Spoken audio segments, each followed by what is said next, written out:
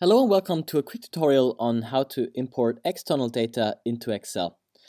This guide will be focusing on Mac since the workflow for Windows is a little different. I've prepared following scenario. So we currently own Apple stock and we are tired of logging into our broker and typing in the password and everything. That takes too much time and we would rather have to have all the information in Excel. How do we do that? First of all, we look for a web page that is offering um, information on the current stock price. So for example, um, Yahoo Finance. So we go on that, and I apologize. The page will be on uh, will be in German, but you get the hang of it. Then we will look for Apple stock. There we go. And there we have it. There's the current stock price and even the daily change. Now all we have to do is save the link so just copy the link and open a blank Word document. So don't change or alter anything, just uh, the usual standard blank page. You paste the link into it, and sometimes um, Word doesn't recognize something as a link. What you have to do then is just press the Enter key twice, and you can see that it is recognized as a link by the blue blue um, blue color of the characters. All you have to do then is save the file, save as, and we don't want to save the file as um, a Word document or anything. We want to save it as plaintext.txt. And you can uh, name it whatever you want. So I'm going to call it Apple stock price. Um, and you can change, uh, you can save it wherever you want. So I, for example, have a folder for Excel data. But before you actually save the file, make sure that you delete the txt and instead write IQY. This is the data type that Excel is required in order to read the, the documents. And um, so you have to, so have to just um, write IQY instead of txt. Then save it. And this um, window pops up. Um, make sure that you check macOS CR only and left to right, but I think this is this um, the standard format, so the standard settings will be alright for you. Then click OK. And next you go um, into Excel, into the sheet that you want to copy the information in. Um, you insert a new, a new sheet and go to the control panel in the uppermost row.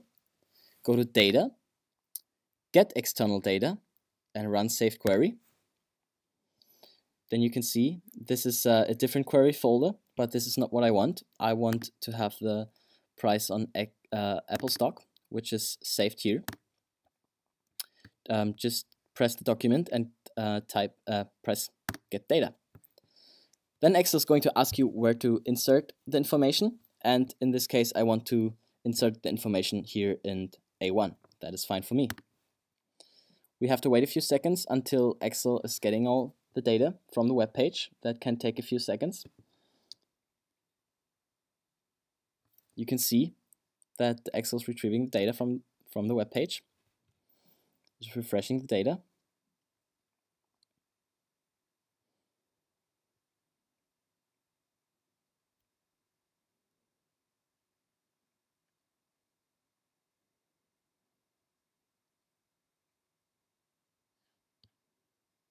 And there you go.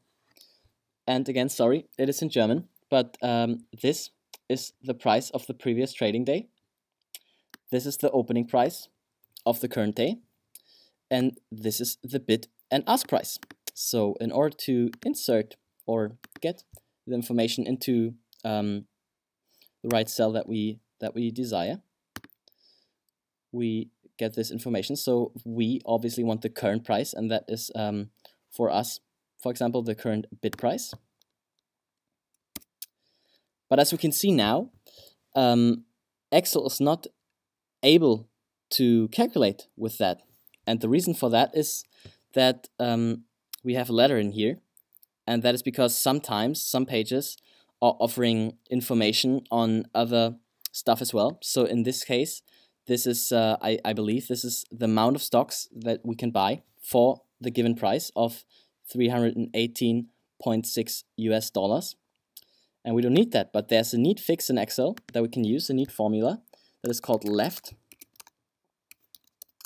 And what this formula allows us to do is um, specify how many digits of a cell we're only on, uh, actually going to use. And in this case, we are uh, counting from the left. We can also type in right, and then it's uh, counting from the right. But we want to calculate, uh, yeah, we want to calculate from the left. And we want to use, um, if I'm not mistaken, seven digits. So just uh, type in semicolon and seven for seven digits and press enter. And there we go. There we have the price. It uh, now actually Excel is uh, able to calculate with that. So in general, if we want to update that information on the regular basis now, all we have to do is go into the Data tab in Excel. So the lower da Data tab, not this one, but this one, and type or just press refresh all. What you can see now is uh, that Excel is retrieving again the data from the web page, and that also takes a few seconds. So we are going to wait for that.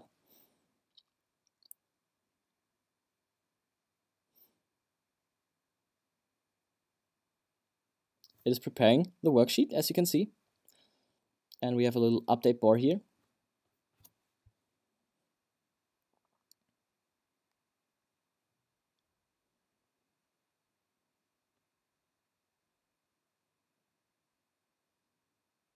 So now Excel's done, but uh, because today is Sunday and the markets are actually closed, we will not be able to see any change. But if you do it, of course, um, during the working days of the week, you can um, update the current stock price at any desired time. So, just to recall everything, I've prepared the, the seven steps. So first, you open the internet browser and copy link um, to a web page you want to import it. Then you open a new Word file and copy the link in the uppermost row. Make sure it is recognized as a link. I showed you how.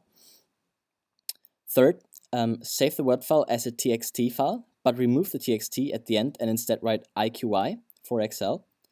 Furthermore, furthermore open Excel um, and go to the spreadsheet and go to data in the uppermost control panel in order to import data. Under that data tab, go to get external data and further run saved query. Go to the folder queries or wherever you um, wherever you saved your um, your file and click on the desired file and get data. And then on the regular basis, just uh, press refresh all in order to update the information. So, I hope this information helped you. And if it did, please consider liking or subscribing the video. Uh, more tutorials and videos about Excel and other stuff will be coming. Thank you very much.